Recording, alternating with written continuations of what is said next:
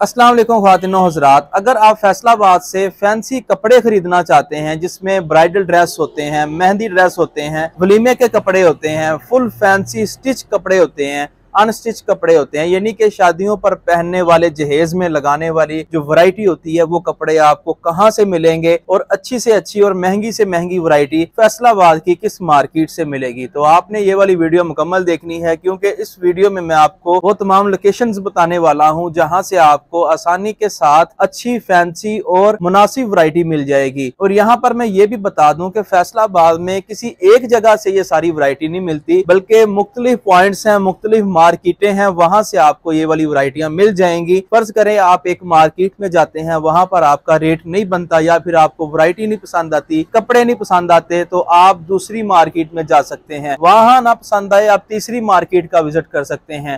اور یہ مارکیٹیں کوئی زیادہ دور نہیں ہیں، قریب قریب ہیں، آس پاس ہیں۔ تو آج کے ٹاپک کی طرف بڑھنے سے پہلے میری تمام بہن بھائیوں سے ریکویسٹ ہے کہ جناب میرے یوٹیوب چینل کو سبسکرائب کر لیں اور ساتھ میں بیل کا بٹن ہے، اسے بھی دبا دیں تاکہ آنے والی ہر نئی ویڈیو کا نوٹیفیکیشن آپ تک پہنچتا رہے۔ تو آج کا ہمارا ٹاپک ہے bridal dress mehndi dress fancy کپڑے سٹچ ہوں ان سٹچ ہوں، جہیز میں لگانے والے ہوں، شادیوں پر دینے والے ہوں، جسے کہتے ہیں جی ہم نے لین دین کرنا ہے۔ وہ کپڑے کہاں سے ملیں گے؟ تو آج کی ویڈیو میں وہ تمام لوکیشنز آپ کو فیصلہ آباد کی بتانے والا ہوں، جہاں سے یہ والی ورائٹی یہ والے کپڑے ملتے ہیں۔ سب سے پہلے جناب جو نمبر ون مارکیٹ ہے، اس کا نام ہے بانو مارکیٹ یہ فیصلہ آباد کی مشہور زمانہ مارکیٹ ہے، جہاں سے آپ کو فینسی کی بے شمار ورائٹی مل جائے گی۔ اور کہا جاتا ہے کہ جو عورت بانو مارکیٹ کا چکر لگا لے، اس کا وزٹ کر لے، وہ اور مارکیٹوں میں جتنا مرضی گھوم لے، پھر لے، اسے کوئی ورائٹی پسند نہیں آنے والی۔ بانو مارکیٹ ایک ایسی مارکیٹ ہے جہاں پر آپ کو دلہن ڈریس مل جاتے ہیں، مہندی ڈریس مل جاتے ہیں، اس کے علاوہ ولیمے کے کپڑے مل جاتے ہیں، میکسیاں ملتی ہیں، ساڑیاں ملتی ہیں،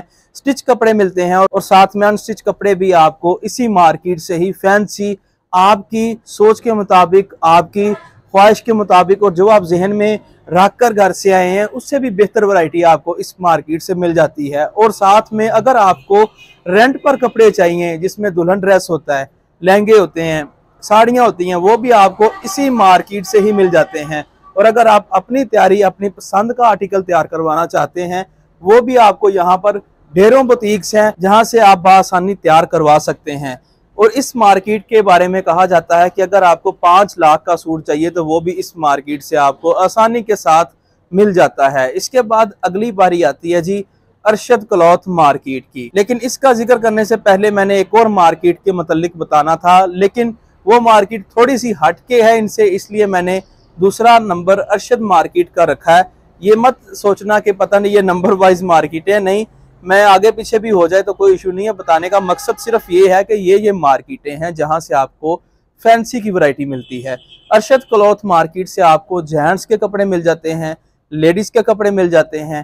Stitch two piece, three piece شرٹیں اور اس کے علاوہ unstitch fancy two piece three piece اور جہیز میں لگانے والی تمام ورائٹی یہاں سے مل جاتی ہے۔ میکسیاں چاہیے، وہ بھی یہاں سے مل جاتی ہیں۔ اس کے ساتھ ساتھ اگر آپ کو کمبل چاہیے جہیز میں لگانے والے اور چیزیں جس میں دریاں کھیس ہوتے ہیں، وہ بھی آپ کو اسی مارکیٹ سے مل جاتے ہیں۔ لیکن یاد رکھنا، یہ والی مارکیٹ ہول سیل کی مارکیٹ نہیں ہے اور بانو مارکیٹ بھی ہول سیل کی مارکیٹ نہیں ہے۔ یہ ریٹیل کی مارکیٹیں ہیں جنہیں عام لفظوں میں پرچون کہتے ہیں، یہ پرچون کی مارکیٹیں ہیں، یہاں پر آپ کو ریٹ کرنے پڑتے ہیں۔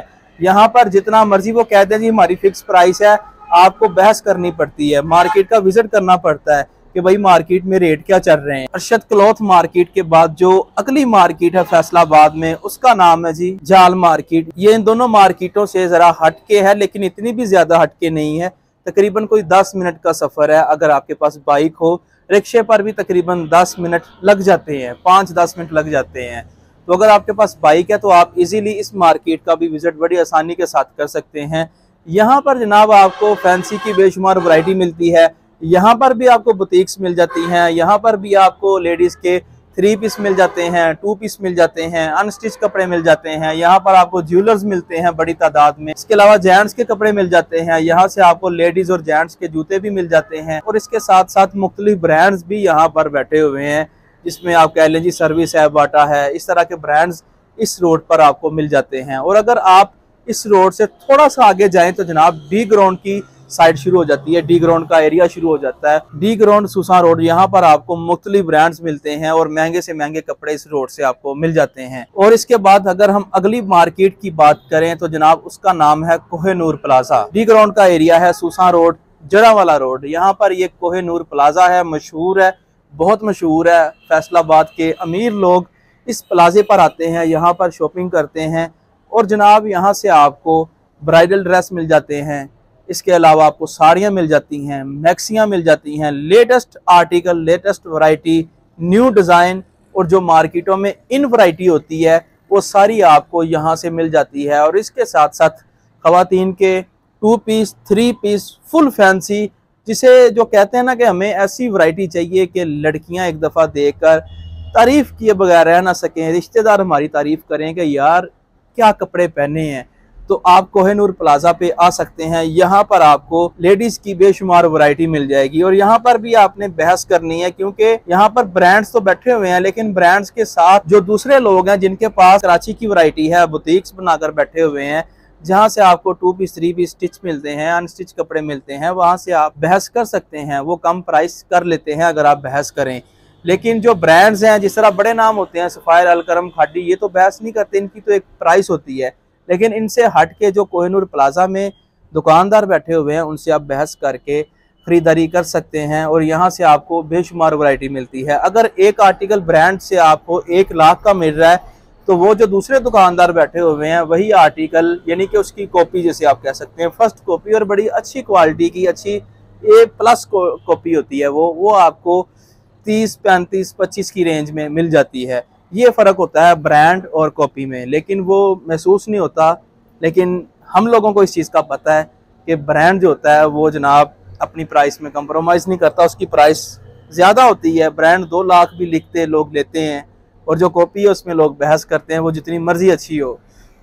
ویڈیو بنانے کا مقصد یہ ہے کہ جو خواتین ہمارے بہن بھائی خریداری کرتے ہیں، شادیوں کا سیزن ہے اور انہیں مارکیٹوں کا نہیں پتا صرف ایک مارکیٹ زبان پہ لگی ہوئی ہے، بانو مارکیٹ تو جناب بانو مارکیٹ کے علاوہ بھی مارکیٹیں ہیں، ان کا بھی وزٹ کیا کریں تاکہ آپ کو اور مزید ورائٹیاں ملیں۔ اس کے علاوہ فیصل آباد میں لائل پور گیلریا ہے۔ اگر آپ وہاں پہ چلے جاتے ہیں تو میرا خیال ہے کہ حساب سے آسان ہو جاتا ہے کہ ایک چھت نیچے آپ کو وہاں پر ہر چیز مل جاتی ہے۔